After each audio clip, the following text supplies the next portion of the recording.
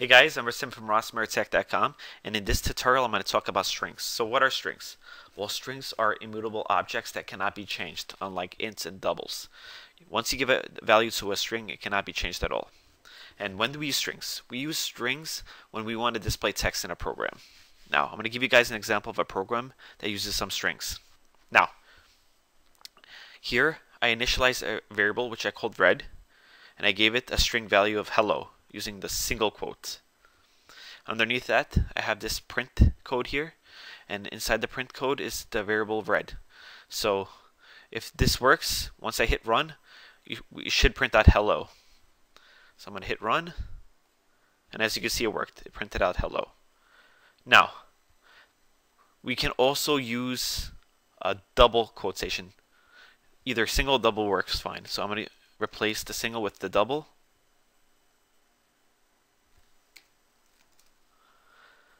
Then I'm going to print, then I'm going to press play.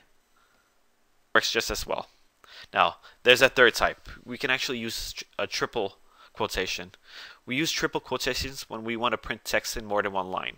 I'm going to give you guys an example of that right now. I'm going to keep the variable red, but I'm going to use the triple quotes. You can either use triple singles or triple doubles. I'm going to use the triple single. Two, three, triple singles. I'm going to hit enter.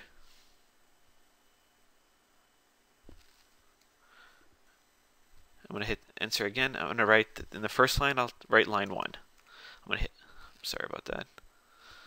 First line, I'll type in line 1. I'll hit enter. The second line should be line 2. I'm going to hit enter again. The third line, sorry about that. third line, should be line 3. To finish this off, I'm going to type in another 3 single quotes, then finish it off with a, a, semicolon. Every time you guys type in a statement, you have to have a semicolon. Also, you're going to get an error in the program. Now, I'm going to press play right now. And as you can see, it worked. It printed out three different groups of text on three different lines. Now, we can also use the quotations to initialize a variable inside a, a print code or any type of code. Instead of using the var red equals, we can actually, I'm going to delete that right now. I'm actually just going to delete all this. And uh, I'm going to replace red with a single quote and type in hello.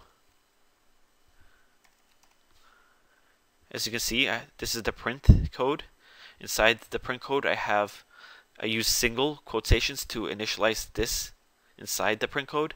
So once I press play, it should print out hello. As you can see, it worked. And that's pretty much it. If you guys enjoyed this video and if it was helpful, please subscribe to my channel. If you have any comments, leave me comments. I'm Rasim from Rasmurtech.com and thanks for watching.